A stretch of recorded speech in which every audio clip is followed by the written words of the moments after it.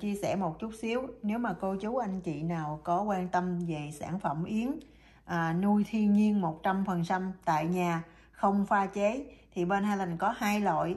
Một loại đây là yến chưa nhặt lông một loại đây là nhặt lông rồi sạch sẽ hết rồi. Cô chú anh chị đem về thì à, chị để vô chén rồi chân thôi. Rất rất là ngon luôn hai lành bảo đảm. Yến này là ở nhà của mình chứ không phải là mua qua trung gian gì hết. Của anh chị an tâm nha còn cái loại mà chưa nhặt lông cũng à, rất là ngon luôn. Nó còn à, à, nguyên chất luôn. Đó không pha chế gì hết.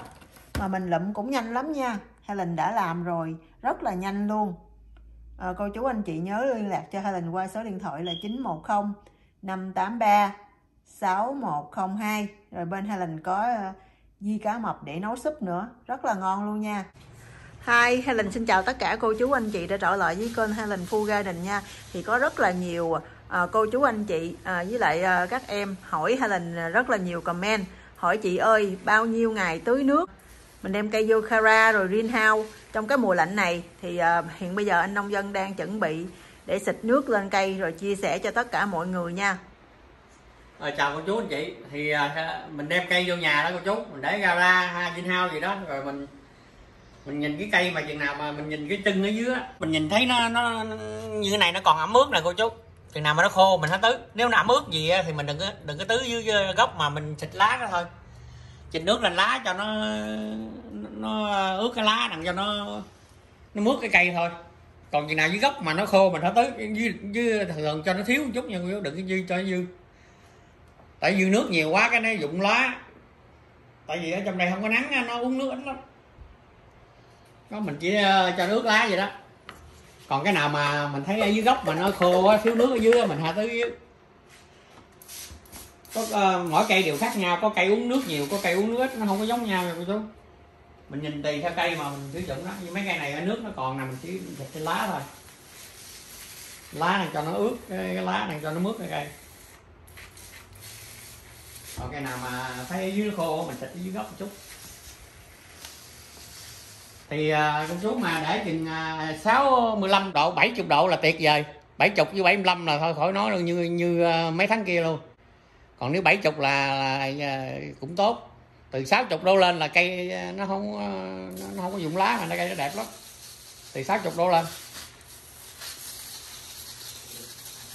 Nó thì con chú mà cái à, ở bên Mỹ này mình ở trong nhà ở gara cái gara chứa nhiều lắm con chú chứa một trăm mấy hai trăm cây luôn đó thì để hai cái đèn gì nè rồi mình để một cái máy nóng. Còn về máy à, nóng á, thì à, mỗi người xài một cách riêng.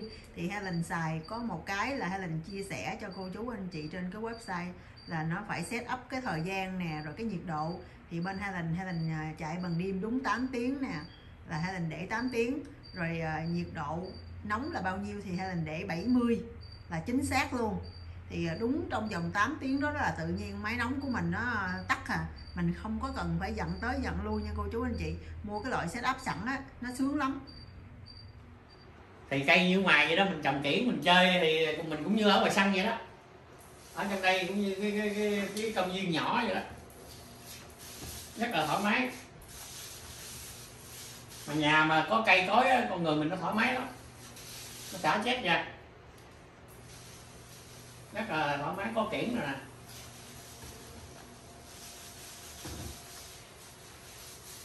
Đó thì uh, hôm nay Helen sẽ chia sẻ cho tất cả cô chú anh chị nếu mà ở tiểu bang lạnh đem cây vô trong uh, Kara hoặc greenhouse nha. Thì uh, nông dân có chia sẻ rồi à, uh, 65 độ trở lên uh, là cây của mình rất là good luôn. Đây bên trong Helen có chia sẻ là Helen có cái dàn đèn nó gọi là lem lét cái nha cô chú anh chị. À, để cho cái cây của mình nó thay thế ánh nắng mặt trời thì có cái dàn đèn này rất là tốt cho những cái cây ăn trái của mình nha. À, có thể là mình cũng bớt chạy máy nóng một chút xíu tại trong cái dàn đèn này nó cũng có như nó giống như ánh nắng mặt trời vậy đó cho nên nó cũng có cái độ nóng nữa. Thay vì mình không có cái dàn đèn này thì cái máy nóng mình chạy rất là nhiều à, tốn điện. Còn có cái dàn đèn này thì nó bớt cũng được à, 50 phần trăm đó thì Helen chia sẻ cho cô chú anh chị cây của Helen nè hiện giờ nè xanh non mướt luôn nha xanh bóng luôn nè. Đó Helen quay cận cảnh cái lá nè. Đây là lá sung nè nha. Còn những cây này là những cây mai cúc họ hương. Họ có gốc bự nè mà ở trong cái uh, gara nhà của Helen xanh tươi luôn xanh bóng luôn á. Hôm này ở à, hai đêm nay là ở ngoài là à, 30 độ 29 độ thì dưới âm 34 độ á. Ngoài trời âm 34 độ đó thì à, cô chú anh chị ơi à, cái cách tưới nước khi mình nhìn cái chậu của mình nè đó còn ẩm ẩm đất nè cho nó hơi khô chứ đừng có là ướt quá giống như nước nhiều quá là cây của mình sẽ bị rụng lá nha. Đây thì à, thay gì á Helen chia sẻ là cái này có thể là à, tùy theo cây nha từ 5 tới 7 ngày mình à, tưới nước ở dưới gốc một lần. Nếu mà cây nào hút nước nhiều quá thì 3 ngày tới 4 ngày mình tưới một lần. Còn cây nào mà chậm hút nước á, thì 5 tới 7 ngày cô chú anh chị tưới một lần nha. Còn xịt cái này nè, đó là anh nông dân chia sẻ, mỗi hai ngày thì mình xịt lên lá cho cái lá nó ướt. Để cây của mình nó à, tốt cái lá nha cô chú anh chị. Đó thì Helen có à, chia sẻ rất là nhiều mai. Mai cúc thọ hương, mai đại lộc, rồi mai siêu nụ cho Tết Việt Nam. Hiện bây giờ là à, chưa có lặt lá được. Đây quá trời đẹp luôn cái vàng mai luôn nè. Cây nào cây nấy xum xê luôn gốc rất là to luôn. Cô chú anh chị nào có xem video thấy những cái cây mai cúc thọ hương này nè thì à, nhớ liên lạc cho Helen nha. Qua số điện thoại là 910 583 6102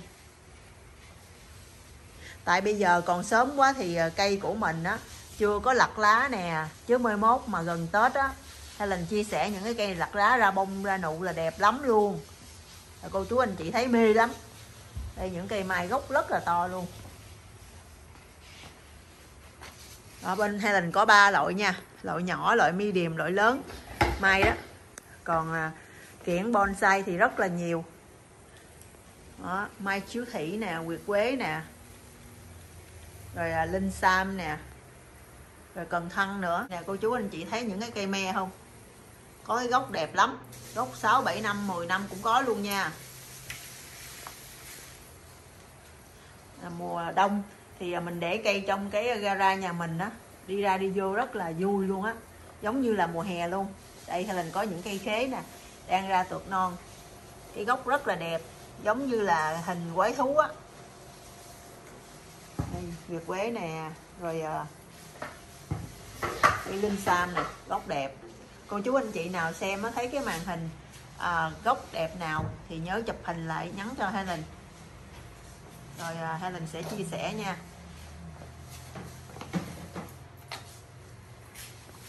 Đó cây của Helen đem vô trong à, Kara là hơn một tháng rồi khoảng một tháng rưỡi rồi mà cây rất là đẹp luôn. Đây Helen cho cô chú anh chị xem nè cải trời Helen ngắt trên ngọn hết rồi rồi còn cái gốc nó lên lại nè. Đây, hiện bây giờ là trong đây gần 66 độ nha. Ừ, Cà na nè rất là đẹp luôn.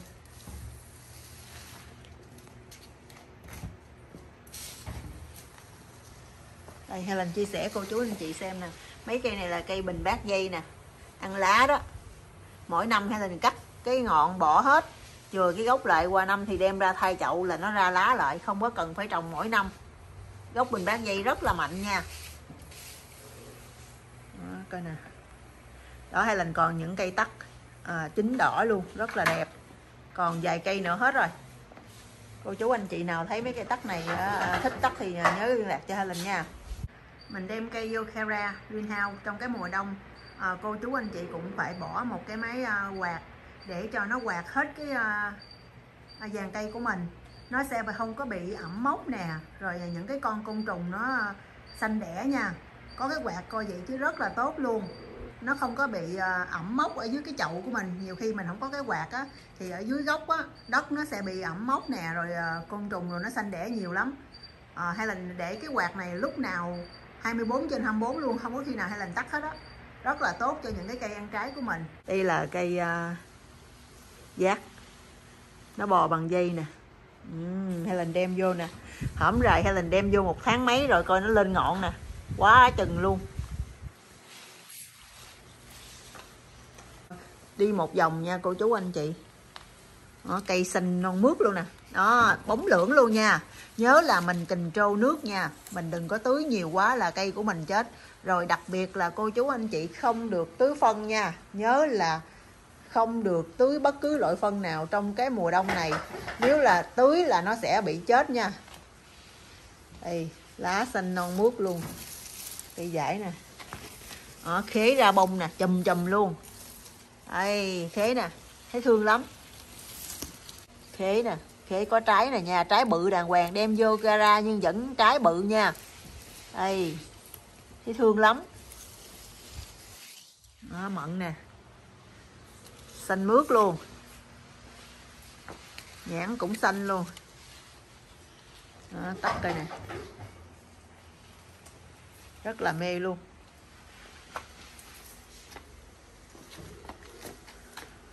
Đây. nói chung là à, tưới nước thì cô chú anh chị nhớ là mình xem cái cây nào nó hút nước nhiều. À, mình thấy nó khô thì à, hai ba ngày ba bốn ngày mình tưới một lần còn cây nào mà rút nước ít á thì mình nhớ là nha 5 tới 7 ngày hả tưới mỗi cây đều khác nhau hết nó không có giống nhau nha cô chú anh chị. Nhiều khi cây lớn á, nó rút nước nhanh. Tại vì Helen cũng chia sẻ nha có cái bóng đèn led này nè. Nó như ánh nắng mặt trời cho nên nó cũng hút nước nhiều lắm luôn. Ở dưới những cái chậu cây á còn nhà không có cái đèn này nè là cây của mình nó lâu rút nước lắm. Cho nên cái bóng đèn này nó cũng rất là lợi hại luôn. Cô chú anh chị trồng cây mà có những cái dàn đèn led này là rất là good cho cây ăn trái của mình. À, mình phải đầu tư đúng nha cô chú anh chị. Chứ mình à, à trồng mà mình nói trồng chơi à, trồng cho vui là không được. Tại vì cây á mình mua mình trồng nó mình rất là thích nó cho nên nó chết mình cũng rất là buồn. Đây cô chú anh chị thấy nè quýt nhật nè. Đó cây xanh mướt luôn. Trái nè đang chín nha. Cô chú anh chị nào cần cây quýt này á, thì alo cho Helen nha. Cái nè. Ờ, à, chanh lá số 8 nữa nè. Xanh non mướt luôn. Vô trong đây ra tuột non luôn nha.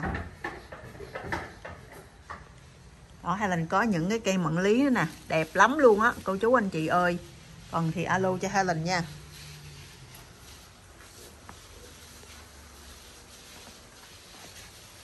Đây nè đem vô trong à, à, gara mà cây me nó xanh nó xanh bóng luôn. Nó xanh ờ, khủng luôn nè thấy không? Đó. Hay là để quay lên cho cô chú anh chị xem cái dàn đèn. Đó, nó rọi xuống là những cái cây ăn trái của mình xanh mướt luôn nha. Đó, cây chùm ruột đây nè. Ra tuột non xanh, non mướt luôn. À hay lần chia sẻ nha. Hay lần có mấy cây seri gò công của Việt Nam. Vô trong đây mà vẫn đậu trái luôn. Coi nè. Xanh non luôn. Xanh non mướt luôn. Ngày hôm qua hai lần hái ăn mấy trái luôn á cô chú anh chị nó chín ở trong đây luôn mắc cười ghê luôn á. Đây me à. đã quá. Nhìn cho me cái nè. Nhãn nè. Xanh bóng luôn. À, những cái trái tắc nè. Trời ơi nó bự rồi nè. Bằng trái chanh luôn nha. Đây là những cây vú sữa tím. Trồng bằng hạt nha cô chú anh chị bự rồi. Đó, quay lá cẩm nè thì Helen quay rất là cận cảnh cho cô chú anh chị xem là những cái cây ăn trái của Helen đem vô Kara đều xanh non mướt luôn nha. Không hề thay đổi. Còn những cái lá nào mà nó già thì nó bị vàng chứ không phải là nó bị ờ, à, chết nha cô chú anh chị. Đôi khi mình cũng phải à, đi vòng vòng mình lặt. Mình coi lá nào vàng thì mình lặt mình bỏ. À, cái này. Lá sung ra tược non luôn. Công nhận ở trong đây nè có cái đèn á rất là good luôn. Máy nóng rồi mình chạy đầy đủ cây tốt lắm. Những chậu rau. Coi nó xanh nè. Đây cần dày hay là chừa lại nè. Ở trong đây là lá cẩm nè. Út này nha đây nè. Xanh bóng luôn.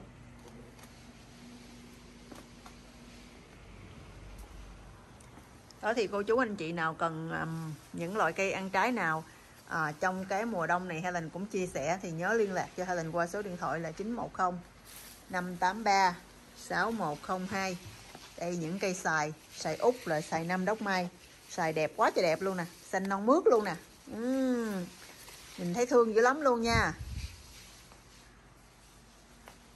Đây nhãn này là nhãn xuồng nhãn Hawaii. Ổi cái nè cũng còn toàn ten nhiều lắm á.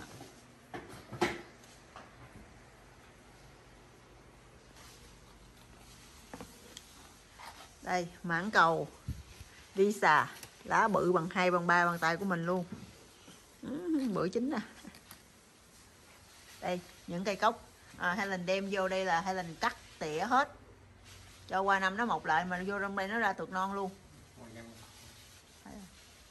Đó Helen có à, tắt ngọt nha. Cô chú anh chị ơi nếu mà cần tắt ngọt thì alo cho Helen nha. Ngay Tết Việt Nam luôn nè trái quá chừng trái luôn. Đây Helen có mãng cầu nè.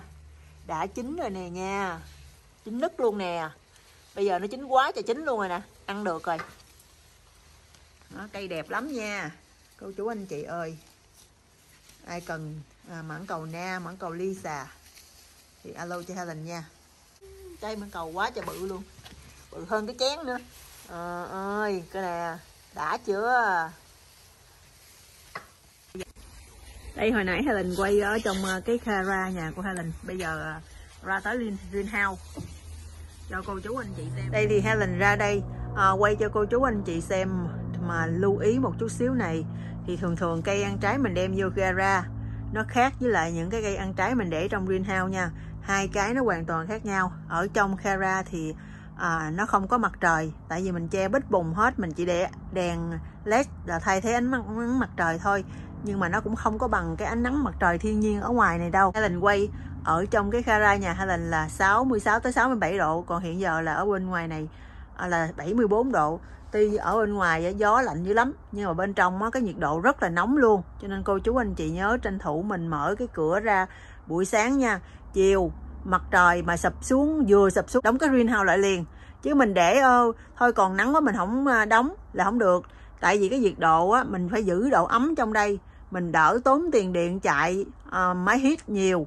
Cho nên cô chú anh chị lưu ý. Thì thường á ở bên ngoài greenhouse á thì ờ, mình tưới nước ờ, nhiều hơn là ở trong cái kara tại vì bên đây có ánh nắng mặt trời nó rút nhanh lắm. Cho nên Helen chia sẻ cho cô chú anh chị. Đây Helen quay xuống là những cái chậu này là Helen đã tưới nay là khoảng 3 ngày rồi. Nhưng mà còn độ ẩm nha. Cô chú anh chị ơi à, mình à, phải coi cái đất này nè đừng có cho nó ướt quá. Ướt quá là lá nó vàng nó rụng. Có nhiều khi cô chú anh chị á à, tưới. Cũng để ý một chút xíu này. Tưới á, là mình từ 3 tới 5 ngày 5 tới 7 ngày. Tưới á, mình cũng phải tưới nước cho nó xuống nha. Chứ không phải là tưới trên mặt không. Ở dưới khô là lá nó cũng bị rụng mà nó đang có trái nhỏ nhỏ thì nó cũng bị rụng hết luôn. Trời ơi trồng cây này rất là khó. Cô chú anh chị phải à, để ý. Tại vì Helen không phải là hay đâu. Trồng 14 năm trời rồi nhiều khi mình cũng phải học hỏi rất là nhiều chứ không phải là dễ chăm đâu nha cô chú anh chị. Thì Helen đã qua những cái trải nghiệm đó rồi thì Helen chia sẻ cho cô chú anh chị để mình à, xem à, những cái cây cần cái gì rồi trong cái mùa đông có để phân hay không tưới nước nhiều hay không. Thì à, nhớ là à, thật là lưu ý nha. Helen thích để những cái cây ăn trái này vô trong cái uh, greenhouse nhà của Helen tại cái greenhouse này nè nó giữ cây rất là tốt như cô chú anh chị. Đó dầu gì nó cũng có nhiệt độ à, rất là cao. Tại vì ánh nắng mặt trời nó dội vô mỗi ngày á nó giúp cho cây của mình á nó rất là mạnh luôn. Cho nên năm nào hay là để những cái cây ăn trái hay là những cái cây nhỏ nhỏ mà như rau rồi hay là để trong cái gốc này là là sống hết trơn luôn. Đó hay là cho cô chú anh chị xem nè nhất là ổi nha ổi mà nó không có đủ nhiệt độ phải là 65 70 độ 75 độ trở lên thì cái lá ổi mới còn. Nếu mà cô chú anh chị chấp nhận mình trồng cây á thì mình nên nhớ là phải đầu tư đèn. Chứ mình đừng có nghĩ là ô tôi trồng chơi vài cây rồi à, nó chết thì thôi mình mua mỗi năm ổn tiền lắm. 70 độ trở lên là lá còn y nguyên. 55 50 độ là lá rụng hết nha cô chú anh chị. Mình trồng cái cây mà mình phải để cho nó rất là nhiều sức mạnh để qua năm nó còn à, ra bông, ra trái liền. Còn cô chú anh chị để nó rụng lá trên cái qua năm nó nó mọc lại từ đầu nữa, nó mất hết mấy tháng trời. Giống như mình trồng cây mình để giống như giữa chừng lưỡng ưỡng lương ương á, là cây á, mình trồng chán lắm. Mình thấy nó rụng lá cái mình buồn lắm. Còn lá, còn nguyên vậy là cô chú anh chị rất là vui. Cho nên Helen chia sẻ là phải để nhiệt độ 70 độ trở lên. Trong greenhouse hoặc Hera là phải để nhiệt độ đúng. Đó, thì hôm nay Helen chia sẻ cho cô chú anh chị để mình biết cái cách mình giữ những cái cây ăn trái của mình nha. Đó thì uh, cuối video Helen chia sẻ lại cho tất cả cô chú anh chị nha. Mình đem cây vô trong gara hoặc greenhouse là từ 65 độ trở lên là cây của mình quá ok luôn. Nếu mà 70 75 là còn lá y nguyên luôn nha. Cây xanh tươi có thể ra tược non ra bông luôn đó. Rồi tưới thì Helen có chia sẻ rồi. Cô chú anh chị nhớ là mình tưới những cây nào hút nước nhiều thì từ 3 4 ngày là mình tưới một lần. Còn cây nào mà hút nước ít thì mình tưới từ 5 tới 7 ngày một lần nha. Mình nhìn từng cây của mình chứ không phải cây nào cũng giống cây nào nha cô chú anh chị. Mình đã chia sẻ rất là kỹ luôn. Đó chẳng hạn như những cái cây này nè cô chú anh chị thấy không? Đất còn ẩm nè là không có tưới nữa. Khi nào đất khô là mình tự tưới. Thì Helen cũng tưới Helen cũng uh, theo dõi những cái cây từng cây nó khác nhau. Nếu mà cây nào hút nước nhiều là từ 3 tới 4 ngày là hai lần tưới một lần. Còn cây nào mà nó rút nước ít á là hai lần tưới từ à, 5 tới 7 ngày. Chứ à, cô chú anh chị à, à, nhắm là cây nào cũng giống nhau là nó bị thiếu nước là nó bị héo lá nha. Nó chết á. Mình đi vòng vòng những cái greenhouse với Kara của mình mình theo dõi những cái cây này hoài luôn á. Giống như trồng cây mình không có bỏ được nha cô chú anh chị đây Helen chia sẻ nè ổi ra tược non ở trong cái gara của Helen đem vô hơn một tháng rồi. Đó cô chú anh chị thấy không? Helen cắt cái ngọn nè nó ra tược non luôn nha. Vẫn ra bình thường luôn chứ chứ không phải là nó đứng lại nha. Nếu mà trong gara của mình có cái những cái dàn đèn led này là rất là ok. À, nếu mà mua đèn led giống Helen Helen cho cái website ở trên cái kênh youtube của Helen à, thì cô chú anh chị nhớ nói với lại cái người bán là xem kênh Helen Food Garden thì à, người ta sẽ discount cho mình 10% tới 20% nha. Thì cô chú anh chị nào à, muốn những cây kiển bonsai mai đại lộc mai cúc thọ hương mai siêu nụ thì nhớ liên lạc cho Helen nha. Tại vì cũng còn à, ít tháng nữa là Tết Việt Nam rồi. Nếu mà cô chú anh chị muốn cây mai đẹp á, thì nhớ gọi cho Helen sớm sớm. À, để Helen chia sẻ sớm nhà mình có cây mai đẹp thì nói chung là chờ Tết cũng được nhưng mà cũng có ờ, rất là nhiều khách ờ, gọi Helen đó thì à, ai mua trước thì được những cái cây đẹp nha. Đó, mai đẹp dữ lắm luôn cô chú anh chị ơi. Tắt Tết luôn nha. Có những ờ, cây đang có trái đang có bông luôn.